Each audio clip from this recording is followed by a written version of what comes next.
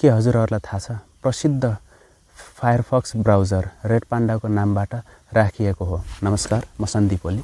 आज चाहिँ म रेड पान्डा नेपालीमा हाउरेको विषयमा कुरा गर्न गइरहेको छु।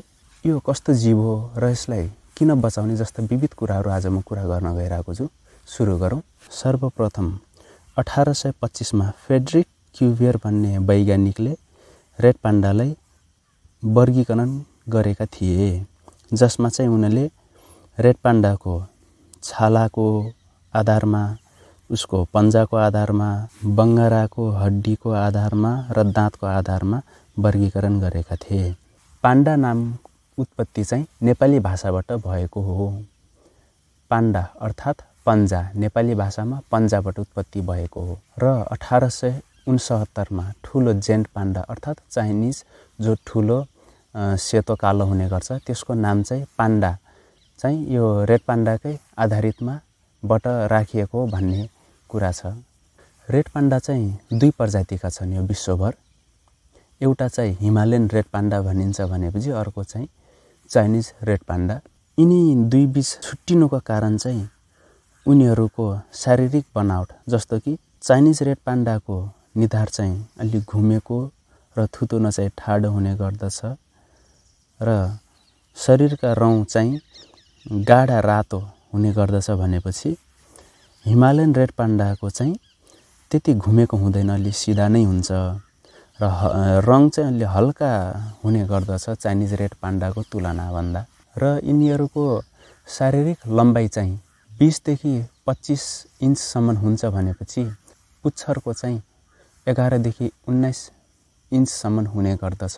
हिमालयन रेड पाण्डाको तौल चाहिँ तिनदेखि साढे नौ केजीसम्मको पाइएको छ भनेपछि चाइनिज रेड पाण्डाको वेट चाहिँ चारदेखि पन्ध्र केजीसम्म पाइएको छ।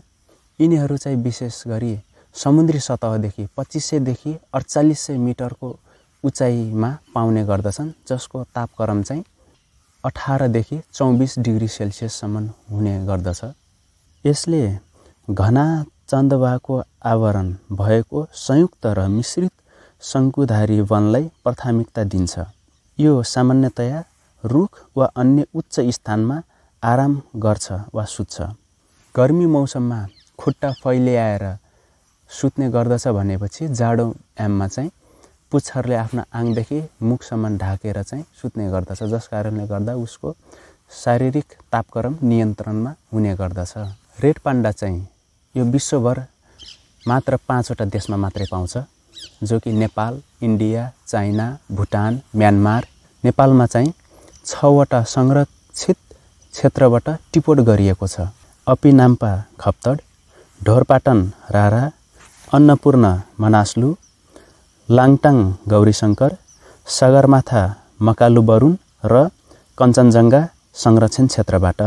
नेपालमा पहिलोपटक दुई हजार सात सालमा ढोरपाटन शिकार आरक्षित क्षेत्रबाट देखिएको हो। र यसको मुख्य आहारा चाहिँ मालिङ्गो निगालो भालुचिन्दे कुर्लिङ्गो कपासे कटुस फलफुल चराहरूका अन्डा र साना स्तनधारी प्राणीहरूलाई खाने गर्दछ। यसले दैनिकी डेढ केजीसम्म ताजा पातहरू खाने गर्दछ भनेपछि डाँठहरू चाहिँ चार केजीसम्म खाने गर्दछ।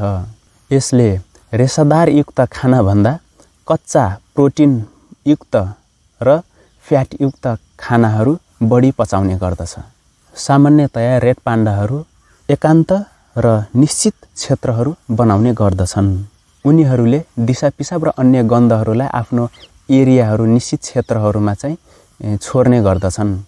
जस गन्धलाई सुँगेर अन्य रेड पाण्डाहरू चाहिँ त्यो क्षेत्रभित्र कम आउने गर्दछन्। भाले रेड पाण्डाले चाहिँ डेढदेखि साढे नौ वर्ग किलोमिटरको वरिपरि आफ्नो भूगोल गराउने गर्दछ भनेपछि पोथी रेड पाण्डाले चाहिँ एकदेखि डेढ वर्ग किलोमिटरको आफ्नो भूगोल गराउने गर्दछ। र उनीहरूले विभिन्न किसिमका सात प्रकारका आवाजहरू निकालेर एक आपसमा सम्पर्क गर्ने गर्दछन्। र उनीहरूको प्रजनन समय सुरु भए पश्चात उनीहरू एक आपसको नजिक आउने उनीहरूसँगै खाने सँगै हिँड्ने अनि सँगै खेल्ने र सँगै विश्राम गर्ने गर्दछन्। विशेष गरी उनीहरूको प्रजननको समय पुष माघ फाल्गुनको महिना हुन्छ भनेपछि बच्चाहरू चाहिँ उनीहरूले जेठ असार साउनमा दिने गर्दछन् र गर्भावस्था लगभग एक सय अन्ठाउन्न दिन हुने गर्दछ र उनीहरूले बच्चा दिनुभन्दा पूर्व आफ्नो एउटा सुरक्षित स्थान खोज्ने गर्दछन् जस्तो कि केही रुखका ठुलो पालहरूमा मुडोहरूमा खोक्रो वा चट्टानदार ठाउँहरूमा उनीहरूले आफ्नो स्थान बनाउने गर्दछन्। सामान्यतया उनीहरूले एकदेखि चारवटा बच्चासम्म पाउने गर्दछन् जो कि पुरै अन्धा आँखा उग्रिएका हुँदैनन् र शरीरभरि रौँ आएको हुन्छ। पहिलो तिनदेखि चार महिनासम्म पूर्ण रूपमा आफ्नै आमाको भरमा पर्ने गर्दछन् भनेपछि उसको आमाले चाहिँ पाँच महिनासम्म उसलाई स्याहार हेरचाह गर्ने गर्दछे। उनीहरू अर्को प्रजनन समय नआउँदासम्म सँगै बस्ने गर्दछन् भनेपछि पोथी रेड पाण्डा चाहिँ बाह्र वर्ष पश्चात बच्चा दिने क्षमता हुँदैन। सामान्यतया रेड पाण्डा बाह्रदेखि चौध वर्षसम्म बाँच्छ र कुनै कुनै चाहिँ तेइस वर्षसम्म पनि बाँचेको पाइएको छ। पछिल्लो समयमा रेड पाण्डाको जनसङ्ख्या खतराको सूचीमा परेको छ। किनभने उसको वासस्थान विखण्डन र नष्ट गरिएको छ। त्यसै गरी चोरी सिकारी लगायत गोठाला र पशुधनबाट पनि उनीहरूलाई बाधा परिरहेको छ। जस कारणले गर्दा उनीहरू बिचको आदान प्रदान र प्रजननमा जोखिम समस्या देखिन गएको छ। वन फडानी अर्थात् वन विनाश गर्दा उनीहरूको मातृगुफा लगायत उनीहरूको आहारामा पनि धेरै ठुलो समस्या देखिएको छ। आर्थिक लोभ लालचमा परेर पछिल्लो पिँढीका युवाहरू रेड पाण्डाको चोरी तस्करीमा संलग्न भएका छन्। विशेष गरी रेड पाण्डाको छाला भुत्ला पन्जा र पुच्छरका लागि उनीहरूको शिकार गरिने गर्दछ। कुनै कुनै ठाउँहरूमा स्थानीय सांस्कृतिक समारोहमा जस्तै विवाहको समयमा दुलाहरूले परम्परागत रूपमा रेड पाण्डाको भुत्ला लुकाउने गर्दछन् जसलाई सौभाग्य आकर्षकका रूपमा लिइने गर्दछ। त्यसै गरी धामी झाँक्रीहरूले रेड पाण्डाको पन्जाले मिर्गी छारे रोग जस्ता विभिन्न अन्य रोगको उपचारहरू हुने गर्दछ भनेर भ्रम पनि फैलाएका छन्। र मानिसहरूले उनीहरूको छालाबाट विभिन्न किसिमका सजावट सामग्रीहरू लगायत लगाउने टोपीहरू बनाउने गर्दछन् जो कि हेर्दा सुन्दर र आकर्षक हुने गर्दछ। त्यसै कारणले गर्दा होला विगत पचास वर्षमा रेड पाण्डाको जनसङ्ख्या अत्याधिक रूपमा घटिरहेको छ। विश्वभर रेड पाण्डाको जनसङ्ख्या अनुमानित दस हजार र यो जनसङ्ख्या पनि घट्दो क्रममा रहेकाले अङ्ग्रेजी मिति दुई हजार पन्ध्र सालमा आइयुसिएनले रातो सूचीमा उल्लेख गरेको थियो र नेपालमा चाहिँ दुई हजार उन्नाइस सालमा पञ्चवर्षीय हाब्रे संरक्षण कार्य सुरु गरिएको हो। लाङटाङ राष्ट्रिय निकुञ्जमा रेड पाण्डाको अवैध शिकारलाई रोक्ने र समुदायका मानिसहरूलाई विभिन्न कार्यक्रममा संलग्न गरी उनीहरूमा जनचेतना पनि बढाइएको थियो र पूर्वी नेपालमा विभिन्न सूचनामूलक कुराहरू लेखेर र रेडियोमा प्रचार प्रसारण गरेर जनचेतनामूलक कार्यहरू गरिएको छ। त्यसै गरी जनचेतनाको लागि अन्तर्राष्ट्रिय रेड पाण्डा दिवस सेप्टेम्बर महिनाको तेस्रो शनिबार मनाइने गरिन्छ। त्यसै रेड पाण्डा हेर्दा सुहाउने र आकर्षक हुने भएकाले हामीले यो जीवलाई यो पृथ्वीमा बचाउने हाम्रो कर्तव्य हो। किनकि यो पृथ्वीबाट कुनै एक मात्रै प्रजाति लोप भए पश्चात हामीले फेरि पुनः स्थापना गर्न सक्दैनौँ। त्यसैले विश्वको प्राकृतिक सम्पदा र ग्रहको विविधता जोगाउनका लागि हामीले रेड पाण्डालाई पनि जोगाउनु पर्छ र रेड पाण्डाले हिमाली भेगको खाद्य श्रृङ्खलालाई जोगाउने काम पनि गर्दछ। कसरी भनेपछि हिमाली भेगमा पाउने खतरामा सूचीकृत प्रजातिको आहारा पनि हो जस्तै हिमालमा पाउने कालो भालु चितुवा र अन्य मांसाहारी चरा।